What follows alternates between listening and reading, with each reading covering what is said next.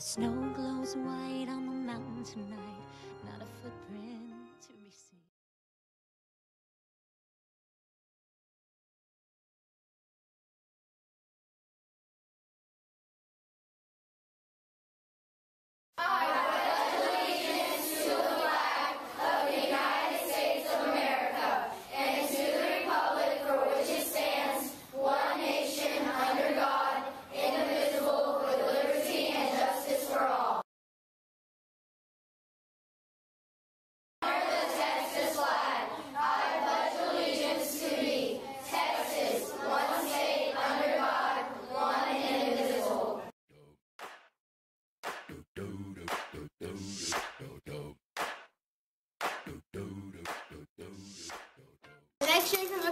Club will be on Wednesday, February 25th, and it will be Harry Potter and the Chamber of Secrets.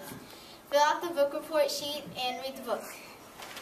Hey Draper Patriots, College Week is from March 2nd all the way to March 6th. Go UT! We're here with your hallway expectations. If you're in the hallways, always go on the right side of the hall, not the left. When, when school is over, if you're a car rider, go through the front doors. Do not go in any side doors. When you go in the bus, always go here, nowhere else. Hey guys, me again, Len the YouTuber, and this week we're going to be talking about the lost and found. This is what you can find in the lost and found, like water bottles, jackets, and stuff like that. And also, if you've lost something electronical, like an invisible watch, a phone, glasses, anything like that, you go down to the office and ask Ms. Wood. Well, guys, it's been a great week. Peace out. Help me.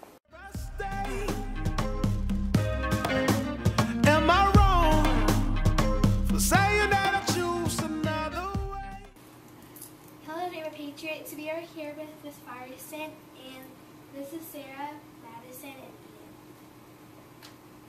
What's your favorite animal to hunt? Uh, I have two, and I, uh, I like to duck hunt because you can talk through it and um, and, and kind of have a little bit more camaraderie. But I love uh, to deer hunt because I like to eat deer.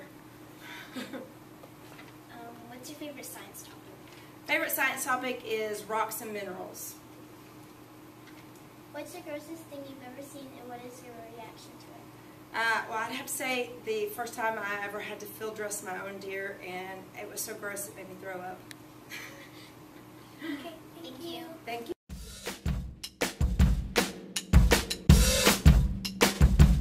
I say I'm too late. Got nothing. This is Mohammed and he's going to be reading the letter he sent in. Dear brother, hey brother, I wanted to tell you something that I haven't said in a long time. Thank you. Thank you for being in the Navy.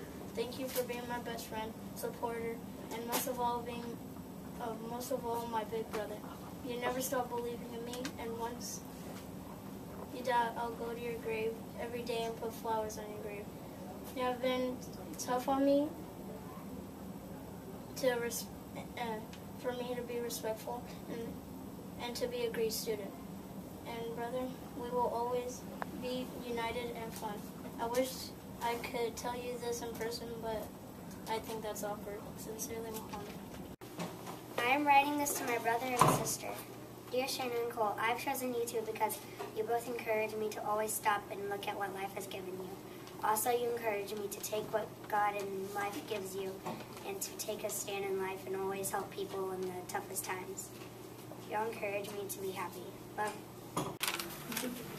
Dear Mr. Merchant, in the beginning of the school year, I was afraid to make new friends and was afraid I wasn't worthy of having friends. But you taught me a lesson that is now branded into my memory. Take the time to take the time. You said that we don't always appreciate the things right in front of us. I like to think of your class as not only GT or even ELA, but life lessons. Optimism, to, to be happy, not worry about the little things, to, to look on the, on the bright side of things. You do that every day.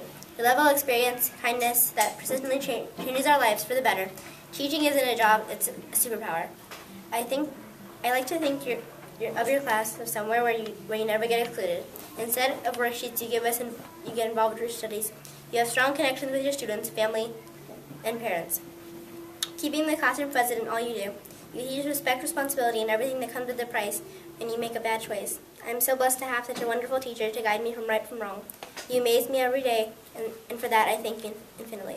Sincerely, Nardos.